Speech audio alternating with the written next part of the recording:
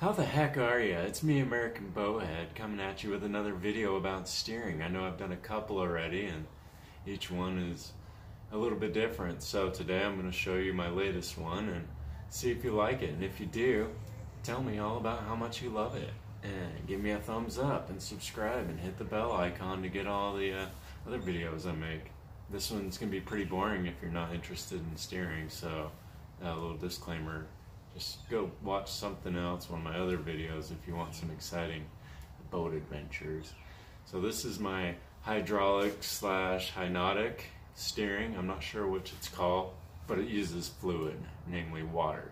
But the whole system costs about 10 bucks, so it's not a big deal. Let's go. Let's go check it out.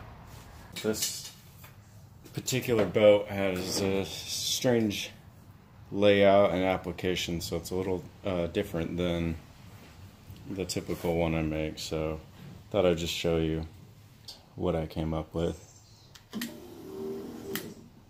So there's my throttle using the original speed controller selector out of the head.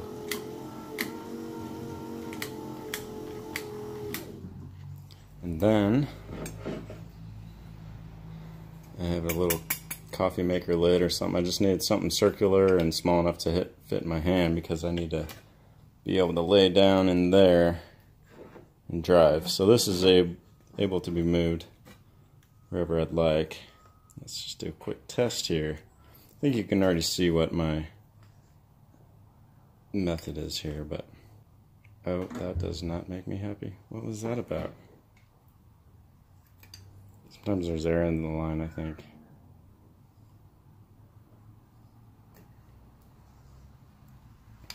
So I don't know why it was sticking at the beginning. That hasn't happened yet. Probably because the camera was on.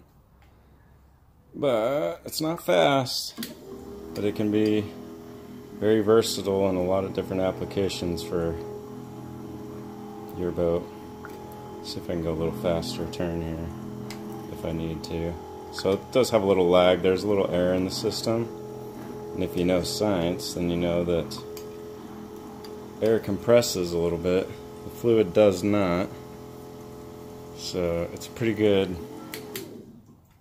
Pretty good if you don't have air bubbles in there. But even a little one is fine. It's pretty self-explanatory what's going on here.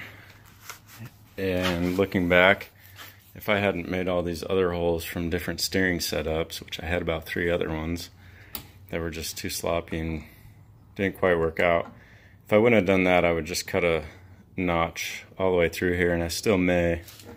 And then put all this inside the boat where it looks a lot better, or you can't see it at all. But here's what's going on. This guy's at kind of an angle. And then as it turns, the angle keeps keeps uh, everything in line.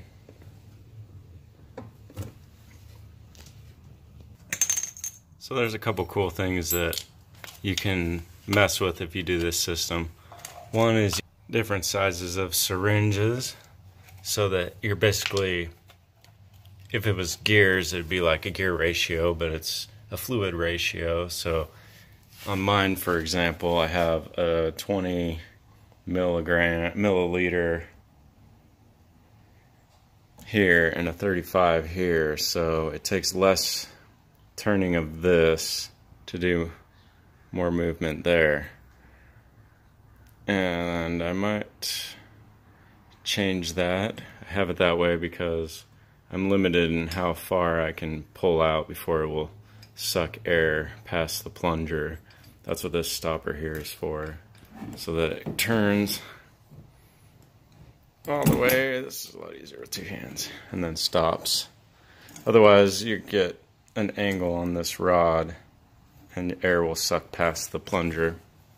So I had to go with the smaller one in the back to increase the, the uh, ratio, whatever we're going to call it. It's pretty simple linkage. You can see here Another cool thing about these syringes, if you get a the right size one, you get a quarter inch bolt, you can just simply pop off the plunger. And if you get the right round one, quarter inch works for these, it'll pop right in that sucker. Obviously, if you have this bigger one, you'd have to jump up to a 7 16 just so that it doesn't just pop out. You can run the uh, water line anywhere you like. Mine, I have to be able to lay down prone. So I'm gonna put that right there. And I can just drive and look around and whatnot. So that's what I got. I've tried a bunch of different systems. Here's another one that I had going on.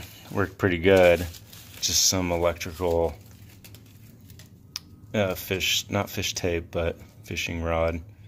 And it goes around in this PEX tubing. And then it just incrementally gets smaller and smaller. But the smallest tube I had still leaves a lot of slop in there.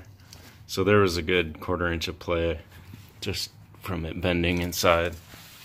So I had to kind of ditch that. I had a pretty cool setup too, but no bueno, no go. And of course, there's a lot of configurations you can do.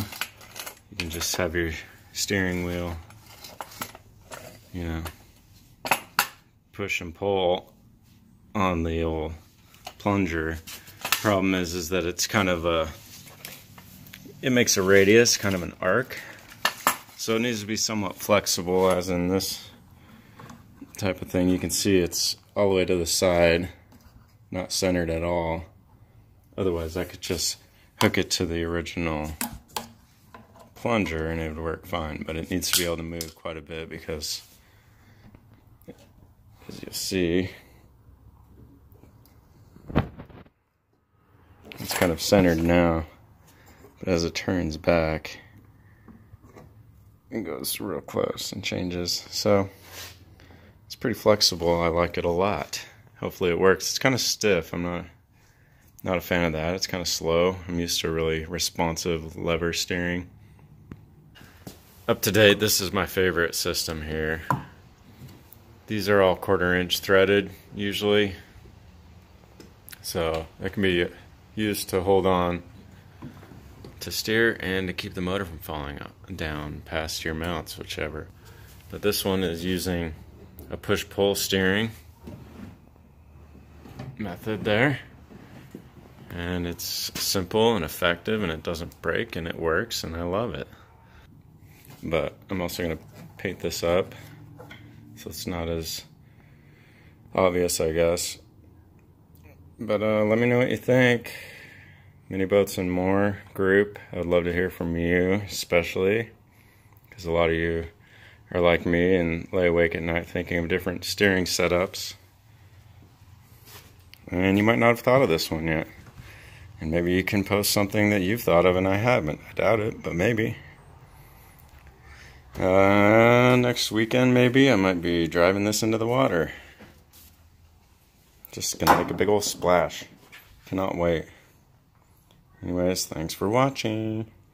Give it a like, subscribe, cut your thumbnails, cut your fingernails so they don't look gross.